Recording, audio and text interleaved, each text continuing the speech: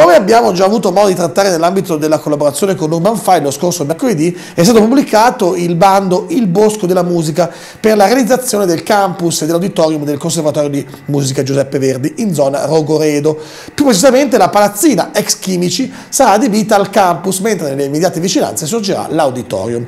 L'assessore comunale alla rigenerazione urbana Giancarlo Tancredi ha accolto molto favorevolmente la pubblicazione del bando perché permetterà non solo la riqualificazione di un'area precedentemente problematica, ma aiuterà anche a superare il monocentrismo che caratterizza i poli culturali milanesi. E proprio per questo abbiamo in collegamento proprio con noi questa sera, lo ringrazio per essere qui con noi, l'assessore Tancredi, che insomma ci spiegherà meglio nel dettaglio l'importanza di questo intervento per la città. Assessore, buonasera, grazie di essere con noi. In cosa consiste il bando Il Bosco della Musica? Buonasera a tutti, è un piacere essere qui con voi.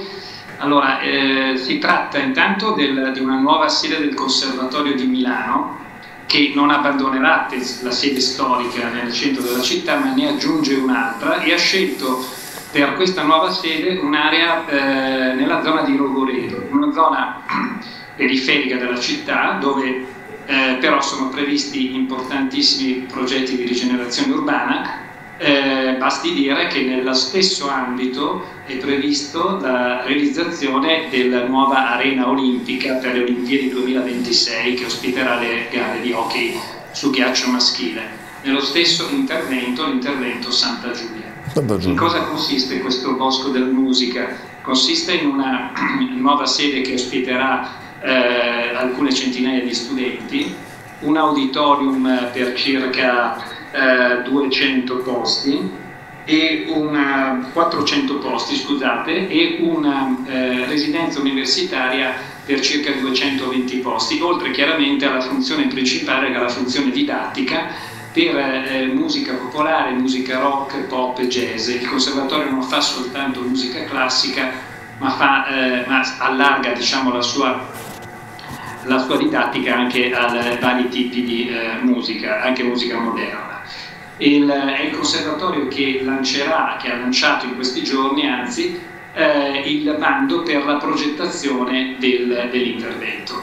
Quindi in questo consiste. È molto importante questo intervento perché dimostra come Milano sia ormai eh, di interesse per varie, eh, sia per diciamo, investitori di tipo privato, sia per le istituzioni, che vedono anche nelle zone periferiche delle città grandi opportunità per ehm, lo sviluppo delle proprie eh, istituzioni. Appunto. Ecco, mentre ci aspettiamo quindi di vedere, da quanto ho capito, un campus alla Saranno famosi, mi viene da, da ricordare, da pensare, proprio un polo per, le, per la grande musica appunto in quel di Rogoredo. Un altro intervento che verrà fatto proprio nell'ambito di, eh, di, questo progetto è anche quello di portare degli uffici municipali all'interno di questa struttura. Anche questo è molto interessante, come quindi anche l'istituzione municipio incomincia a prendere spazio e anche farsi vedere sul territorio. Ma sì, eh, come dicevo, tutto questa, questo um, ambito di Rogoredo eh, che si allarga anche al quartiere Corvetto è interessato da, eh, da una vera e propria diciamo, eh, riqualificazione complessiva con tutta una serie di interventi, tra i quali eh, la nostra nuova sede che è stata realizzata molto recentemente e che vedrà nell'intorno anche tutta una serie di interventi di ehm, riqualificazione degli spazi pubblici con eh, eh, l'incremento di spazi eh, pedonali, la realizzazione di alcuni playground, ehm, la, nuove alberature, nuove piantumazioni, area verde, aree gioco per i bambini e, eh, tutto questo fa parte di un programma appunto di rigenerazione di un'area non facile ma che attraverso una serie di interventi potrà vedere nei prossimi anni, potrà diciamo cambiare volto nei prossimi anni. Cambiare volto sembra che sia proprio il destino di quell'area, anche il nome del bando infatti è interessante, il Bosco della Musica, ovviamente per cercare di cancellare il vecchio bosco della droga, giusto? Indubbiamente eh, nel processo di, di rigenerazione il, il, nome conta perché, scusate.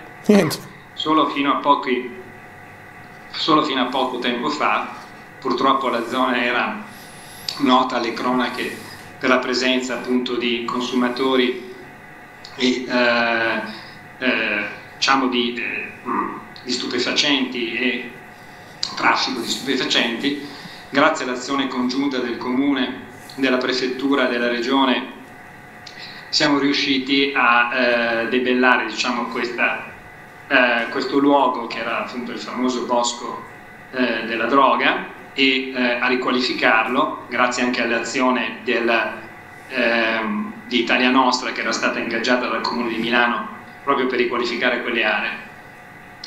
È chiaro che la rigenerazione eh, passa attraverso un'azione coordinata e congiunta, attraverso un'azione multidisciplinare, non, è, non, non basta l'urbanistica, è necessario anche intervenire sul sociale, è necessario intervenire sull'ambiente, è necessario intervenire con ehm, la partecipazione anche del, del, territorio dei cittadini. Da questo punto di vista anche il municipio 4 ha dato un grande contributo.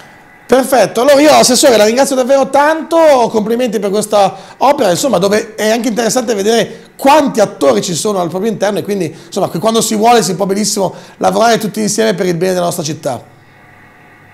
Grazie, mi ha fatto molto piacere questo vostro invito e complimenti per la trasmissione. Grazie mille, a presto allora Assessore.